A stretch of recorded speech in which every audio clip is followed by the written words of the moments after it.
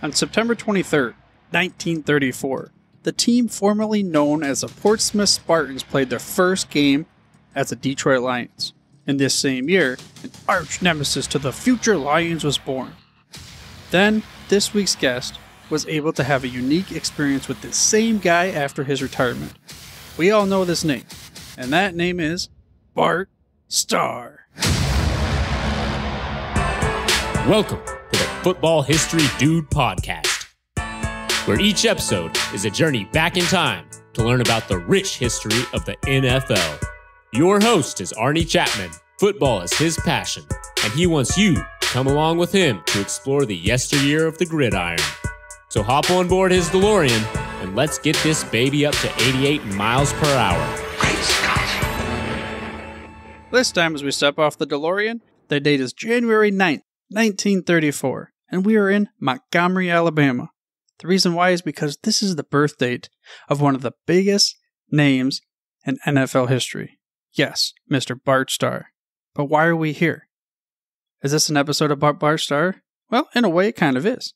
Because this week's guest, which is part two of a two part interview with Joe Zagorski, man, this guy had a very cool, unique encounter with Bart Starr one of his living legends at the time. And most people will never get a chance to do this with their own living legend.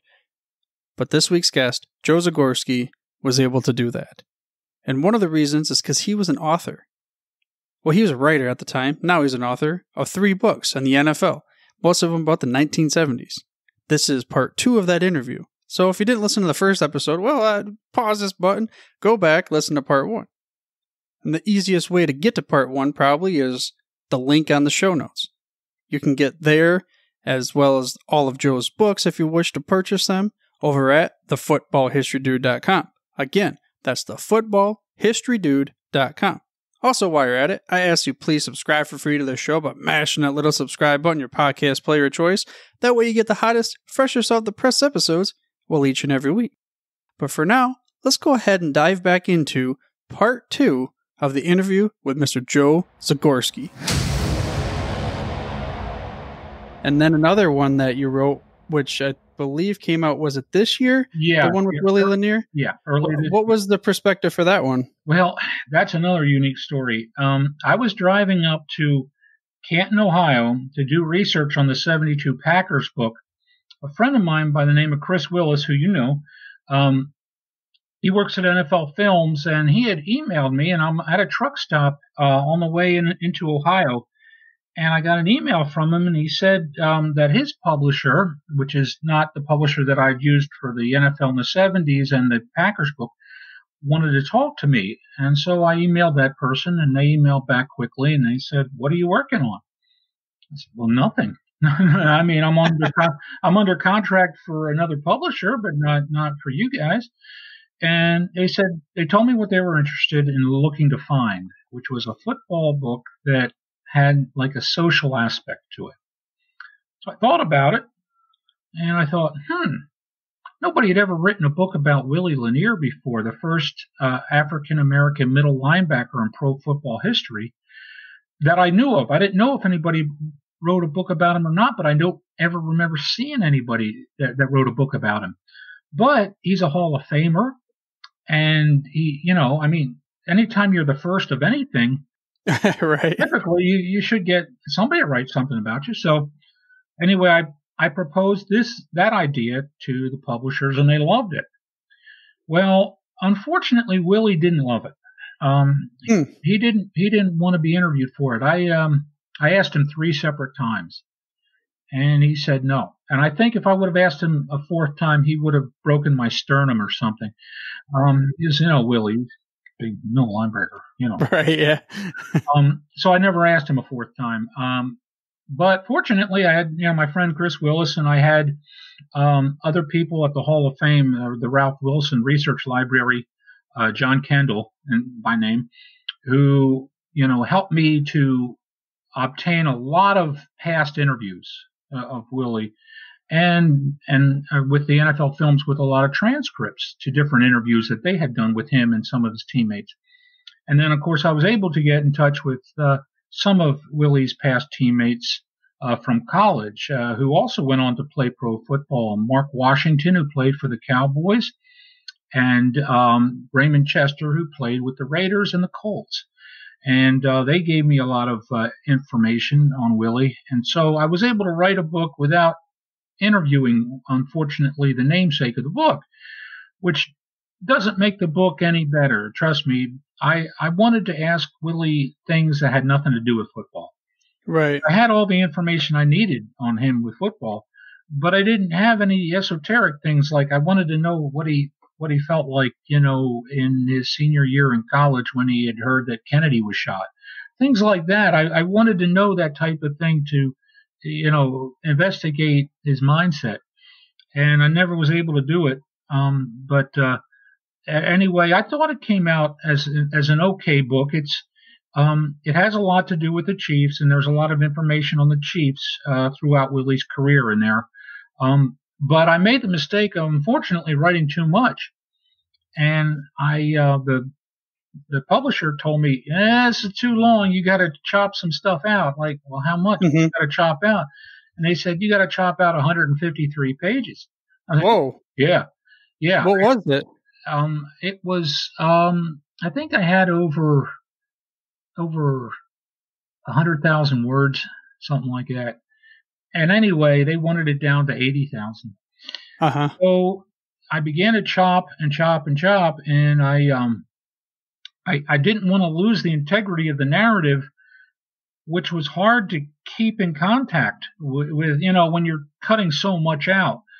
I was able to do it, um, and it was probably obviously the toughest book I ever wrote um, because I didn't have the first of all the the, the ability to talk to Willie, and um, you know the fact that you have to chop so much out. That's it's it's a challenge. It really is. But anyway, it's it's out now, and um, I I don't know how well it's doing. Uh, I'm trying to send it out to different media outlets. Uh, it's hard to get people to to buy books unfortunately now when toilet paper seems to be what people are looking for the most right yeah now yeah. now there are people who have told me that I don't like, but people have told me that they are using my book on the 70s as toilet paper. Now those people, they, they need their heads examined. I want to tell them right now over this program, they need their heads examined. I'm just being silly. Okay. But, yeah, I know. um, but but be that as it may, because that was a 400 some page book, you know, I mean, there's a lot of toilet paper to be had. Well, that'll keep them keep them good for at least a little bit. At least, and but so I know the realization is now. I mean, a lot of people, not to make light of this current situation with the coronavirus, but a lot of people are out of work, and I understand you're not going to buy a book when you're when you've just lost your job. I know that. You know, right. You're you're you've been laid off, but be that as it may, um, I, I, think the um, the book on Lanier has some new things in it that a lot of people haven't read before.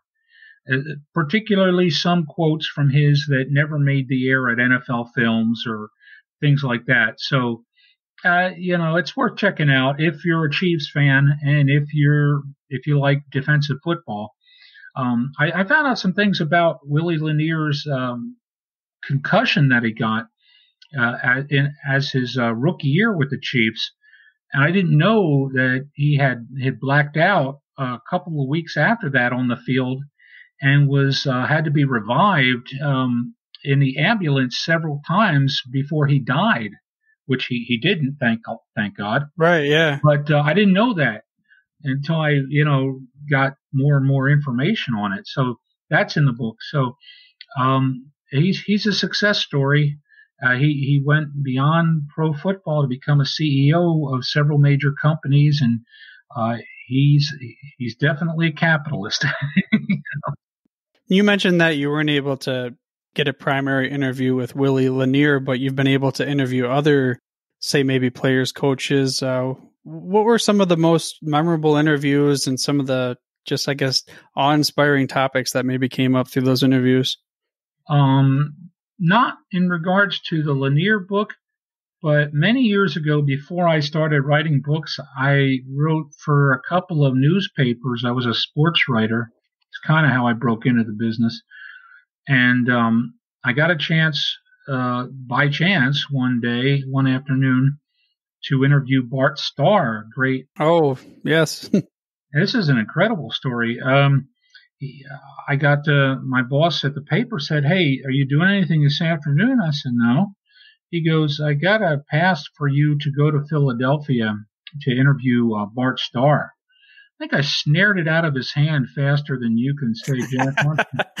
and and I don't know if you know about the Philadelphia, but the Schuylkill Expressway, is, which is renamed the Schuylkill Distressway. Um, it's you know I think I probably should have been pulled over three different times for speeding uh-huh. down there, but I got there in one piece. And the um, the place that I had to interview him was at a Philadelphia Phillies baseball game in Veteran Stadium. It's no longer standing, but it was up in the luxury box section up there. And I'm thinking, I can't believe this. I'm going to meet Bart Starr. So I, you know, I go up to the luxury boxes, which certainly are a lot better. The food's a lot better than the other sections, trust me.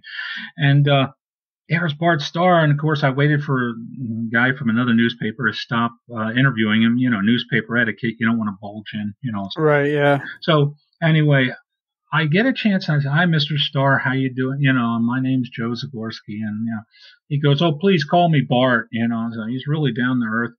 And I'm asking him these questions that he's heard probably about 700 times already. And yet he responded as if he had just heard them for the first time. Just an incredible guy. Well, he had his handler there with him, and he goes, "Okay, Bart, we're ready to go downstairs now." And I'm thinking, "Where's he going?" You know, I'm, I'm done with the interview with him now by this time. He, and he goes, "Oh, I have to take Mr. Starr down to the press box level. He's meeting his old teammate Herb Adderley, doing a short show with him on his little station." Herb Adderley, do, do, do, you mind if I go tag along with you? No, no, no. Come on, come on. So there I am. I'm kind of like the entourage. Mr. Stone is his handler and me walking down. You know, there's her, her Adderley, and they embrace and stuff, and they he's you know they're talking to each other and stuff like this, and thinking, wow, this is so great. So the handler says to me after their interview, "Would you like to me to get a photo of you and uh, Mr. Starr, Mr. Adderley?" Would would I? Hello? you know, I was like, you know, thank God I wore a, I wore a tie for this, you know, thing. So right, yeah. So there I am. I still have the photo, um, and I'm looking a lot younger because I was a lot younger. And of course, you know, there's Bart and Herb, and you know, I'm in the middle. And I'm thinking this was this was a great night. This was a great interview. You know, I got a chance to talk to both these guys. So I go back up. I figure, what the heck? I don't have a deadline. I went up back up to the uh, luxury box and you know partake in some of their food, sit down and watch a baseball game. Guess who sits down next to me? Bart Starr and Herb Adderley. And Not they, bad. They talked to me for about an hour about football and about everything, and I'm thinking, I don't, I don't have my tape recorder running anymore. This is incredible, and it's like. I'm talking to these two guys as if they, they, you know, were just old pals.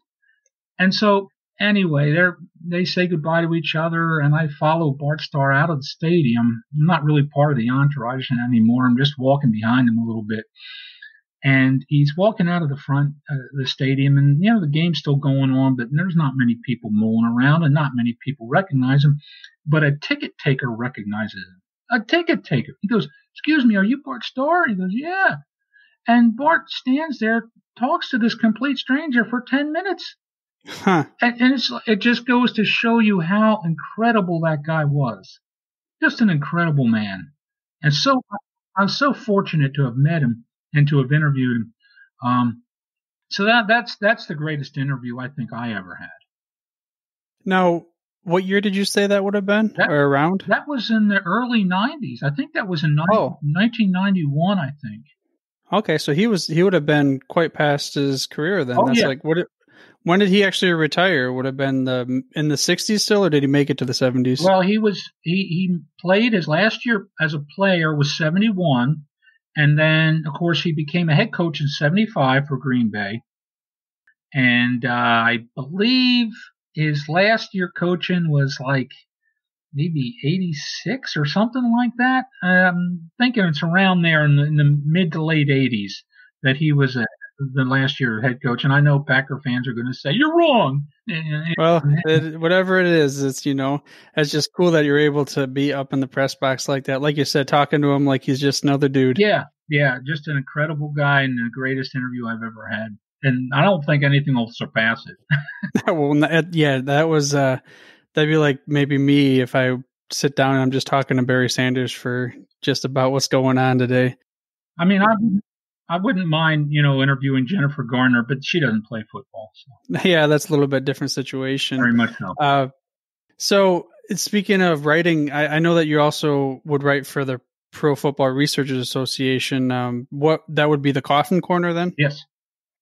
And then, what were some of the I don't know favorite most interesting articles that you had at that point? I like to focus on on different games, um, I, you know, and so that's what I would do. But then I'd also um, try to hit on different uh, famous players that really aren't thought of as famous. Like I recently did an article for them. Uh, I guess it'll be coming out pretty soon on Otis Armstrong. Average person might say, "Who's that?" Well, he used to play for the Denver Broncos and he led the league in rushing in 1974. He, he broke up the O.J. Simpson string of uh, four straight years of, uh, you know, leading the league in rushing. O.J. led it 72, 73, 75, and 76, and Otis Armstrong led it in 74. He averaged 105 yards a game, I think. And back at that time, it's 14 game season.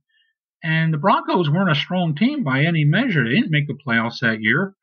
Um, I think they had like a seven and seven season or something like that. So, the, you know, he, he, was being keyed on a lot. So I, I, always try to find some kind of a, you know, something that interests me as much as might interest the public. Um, I also wrote a story on a a division playoff game in 1970 between the 49ers and the Vikings in Minnesota. And the 49ers were underdogs. They weren't expected to win. And going up in, in Minnesota, and it was like, I think it was eight degrees that day. And they, they pulled out an upset. Um, and it was kind of like, in, in a way, uh, a victory of the passing game over over the running game because uh, John Brodie was able to throw quite successfully against one of the greatest defenses of all time.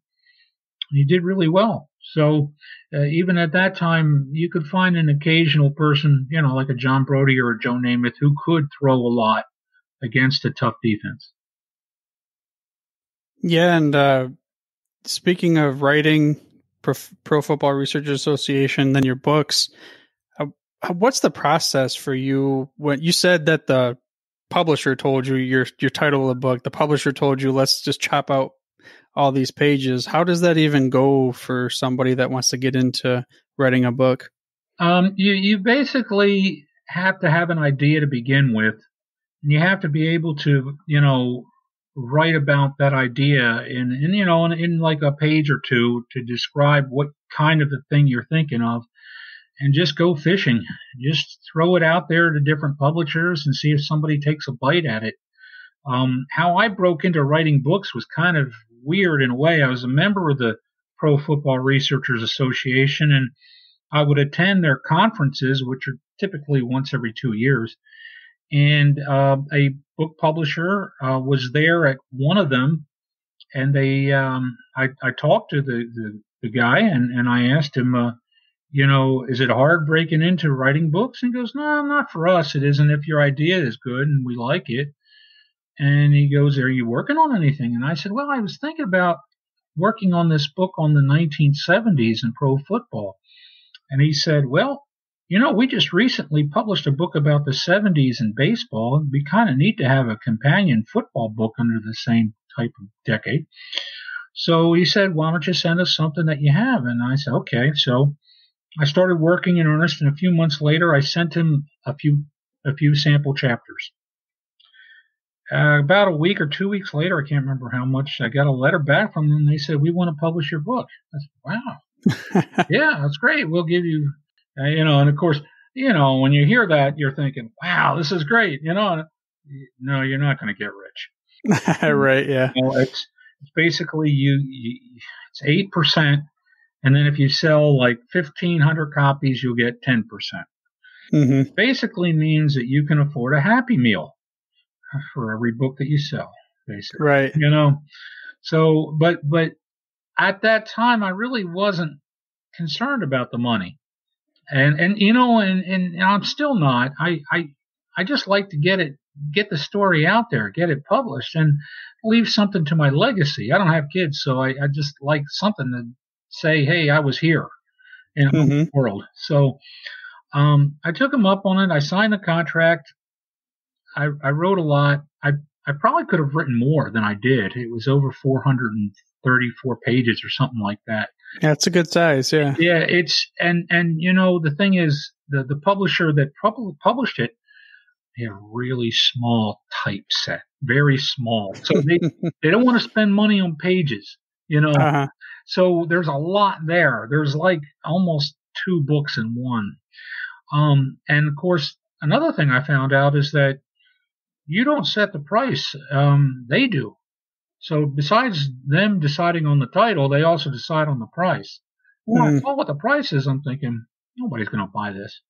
But I didn't realize that the market was there for it. The there were people that were my age in our 50s that loved the football in the 70s, and there hadn't been a there been a few football in the 70s books, but nothing like what I did, which was a comprehensive chapter every one year per chapter, like sort of thing. And so uh, it sold pretty well. It's it sold over 1,600 copies, and I'm thinking, well, Mm. it's pretty good for you know a nobody.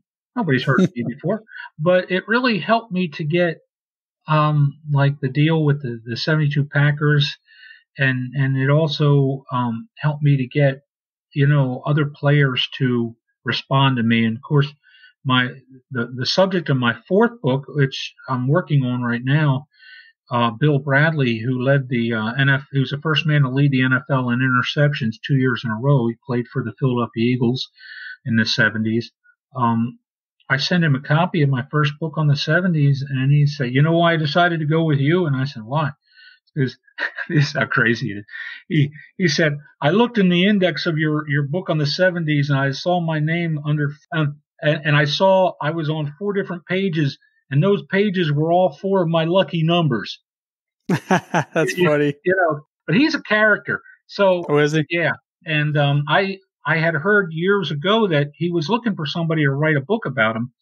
But by then, I was so involved in so many other projects that I didn't have the time. And then after the Lanier book was finally done, I sent the proofs in. I was thinking, why don't I contact him and see if he's still interested? Uh, you know, if he's still alive. Sure. And his answer was yes, you know, and I was, you know, I'm kind of happy because um, I've interviewed him now five times, and I hope to go to Texas later this year to, you know, visit him in person. But every time yeah we talk, it's it's like he tells me something else that's even more hard to believe. Um, he's just an incredible character.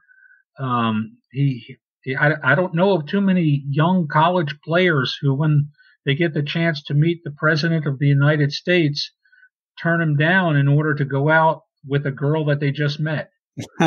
you know, so Sounds like a guy I got to get on the show and get some of those stories. yeah, yeah, you, he's he's incredible. He's something else, and you know, but uh, really down to earth and um, funny as all can be. And if you ever talk to him on the phone, if you don't get him, you'll get his voicemail.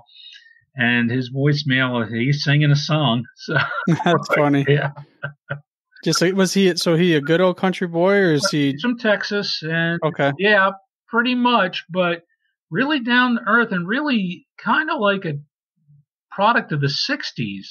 Grew his hair long. hmm You know, um, you wouldn't think that that would be the case for a Texas kid, but he did. And, um, he, he would, you know, he, he, he would just, he bought a Volkswagen bus and drove around the country with it during the off season Hmm. and um, you know he was even a campground host at different national parks out west during the off season. Try try to see if you know like um, uh, Tom Brady wants to, you know, be right. host today. Or so. I don't think so. so. No, yeah, it's a totally different era back then, and of course, even before then, which I talk about a lot on the show, and it's something that just is is uh, intri- intrigues me uh, how different it is now compared to back then. And one of the questions I was going to ask that's basically an impossible task, but seems how you were able to grow up and watch teams back then. You've done a little bit of study in. What's your belief? Could a team back then compete with a team now who has a little bit more as far as the strength conditioning and all that kind of thing? There's no way. There's just no way. The um, players today are much bigger, faster, and stronger. Uh, you just look at the, the, the, programs of the 70s and you look at their heights and weights, and 6'4, 245 was considered pretty big. Today, mm-hmm. today that's, you know, that's a backup strong safety. Uh, right, exactly. You know, the offensive line today, if you're not 300 pounds, you're not on that line. And back then, there wasn't anybody who was 300 pounds. Maybe a guy throughout the league. You know, so I just don't see how any team from the 70s, even the dynasty teams like the Steelers, could have competed against the Patriots of last year or the Chiefs of last year. If it was a fight, they would have stopped it. I mean, just no way. yeah, it's um, it's always something to bring up, but it's one of those things that, well, realistically, just with the physical improvements, it's just probably not going to happen. I mean, if somehow you could create a level playing field, then maybe it'd be fun to watch. But yeah, and more than likely, that's not something that's really going to be competitive. Um, you've you've had so three books now. You're working on your fourth. Uh, if you could go back to right before writing your first book and give yourself one piece of advice for writing in the future, what would that be? Um, that's a very good question. I, I probably would say, um, I would say find out before you uh, propose an idea to a publisher. Make sure you have all your avenues available to you to get to be able to write the book not only having the amount of material, but if your book's on Willie Lanier and you can't interview Willie Lanier, you got two strikes against you. Right. So yeah. I was able to get somehow of a bunt base hit on that book, but I that's what that's what I would have recommended to myself. Make sure you have more uh, uh, background investigations on on what you want to do before you propose it. Yeah, that makes sense. And um, speaking of another question for going back in time, this is a question I ask every listener of the show and every guest of the show. If I could give you the keys to my DeLorean right now, you can go back in time, be a part of any game, moment, whatever it is in the history of the NFL, but you can't change the outcome. Not cool. Where would you go? December 23rd, 1972, on the sidelines of Three River Stadium watching the Immaculate Reception happen. You can see it on television. Uh-huh. If you're standing on the sidelines, I, I asked Rocky Bleier once, he wrote the foreword to my first book, and I asked him, What were you doing on that play? And he goes, I'm embarrassed to tell you, Joe, but I had my back turned to it. what? you crazy? Goes, uh-huh. No. You know, of course, and he, and he made some sense because you didn't know that was going to happen. Nobody. No, did. nobody did. And and so he just couldn't. Why He couldn't bear to watch. But he heard the screaming, so he knew something was happening. And then the next thing he knows, he looks down and Franco's running down the sidelines. That's where I would I would love to see that live. I saw it on television, but it's not the same. Yeah, no, being like you said on the sidelines to experience that raw emotion of feeling you're down and then all of a sudden like how did they pull that off and as a lions fan on the flip side of that i was at a buffalo wild wings that i don't know if it was monday night or thursday night but that hail mary aaron oh, rodgers yeah. at the end of the game mm-hmm. i'm i'm walking out of the stadium or out of the of the buffalo wild wings just um, um, assuming we win and i got to stop just to watch the screen and all of a sudden that big tight end comes out of the sky and you're like come on but that's got to be from a packers perspective not as cool as immaculate reception, reception maybe because of the the gravity of the situation. Right. But man, that would be cool to be on the sidelines. You know, and and it's it's funny about like with pro football, isn't it? The, the memories that we have that last seem to last. They came from postseason games, playoff games. You know, um, there's a lot of regular season games that you can remember, but not as memorable as these postseason uh, masterpieces. I think for me, the reason why, and maybe a lot of other people, is because unlike other sports, professional sports, that one play and that one game changes everything. Yes. You're not best of seven, you're not best of three, whatever they have in those other leagues. It's now you win or you lose, you go home or you go on. It's one or the other. Yes. And I think for me, that's why there's so much passion and emotion in each play. It's like a story, a guest I've had before talked about why he like he loves the game so much because all those little plays are like a story leading up to the climax of the either the touchdown or stopping the play. And it's unlike most other sports because basketball you're going back and forth. Baseball right. you hit it or you miss.